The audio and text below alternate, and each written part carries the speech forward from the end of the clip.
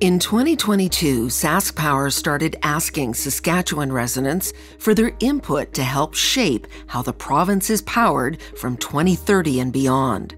These discussions are helping inform our long term power supply plan.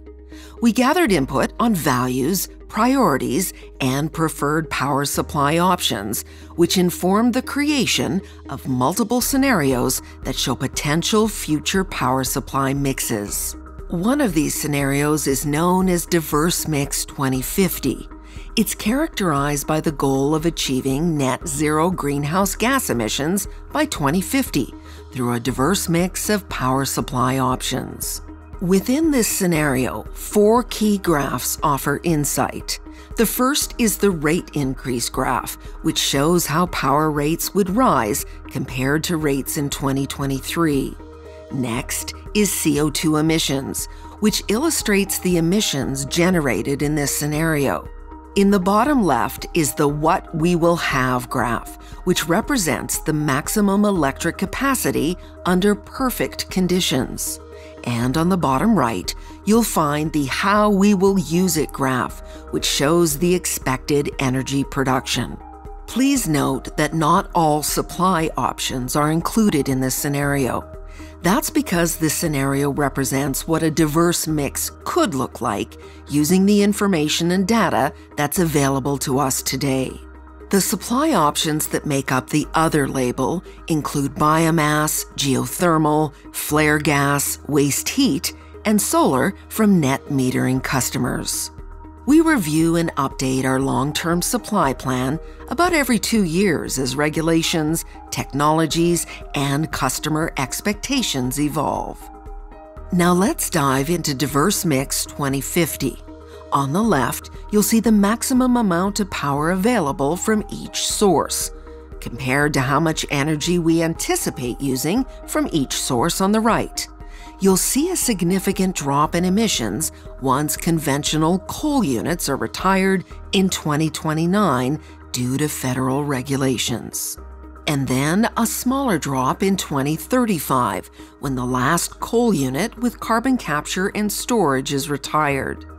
In 2034, you'll see the first nuclear facility coming online, as well as the continuing gradual decline in overall emissions. The first natural gas plant with carbon capture and storage comes online in 2037.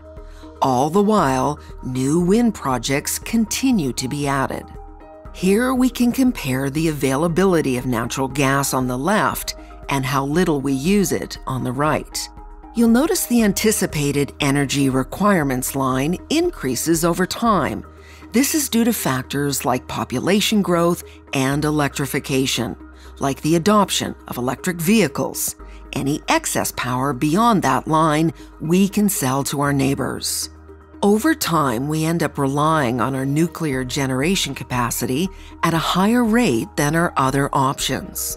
As with all our scenarios, increasing interconnections with our neighbors will be necessary for ensuring system reliability and operability.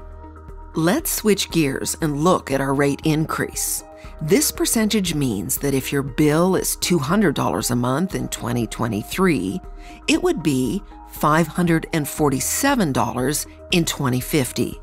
But keep in mind that many factors influence rates, so that dollar figure is likely to change. The amount of land necessary in this scenario to build new power facilities would total about 127 quarter sections.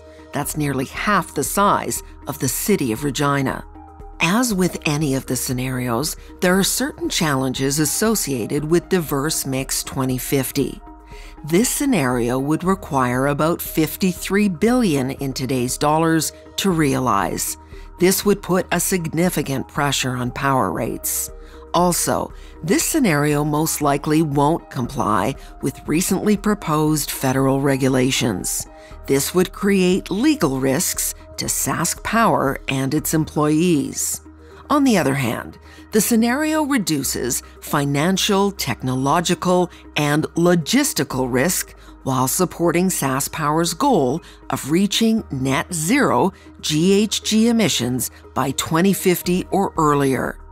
This is because it reduces stress on supply chains and allows more time for technologies to develop.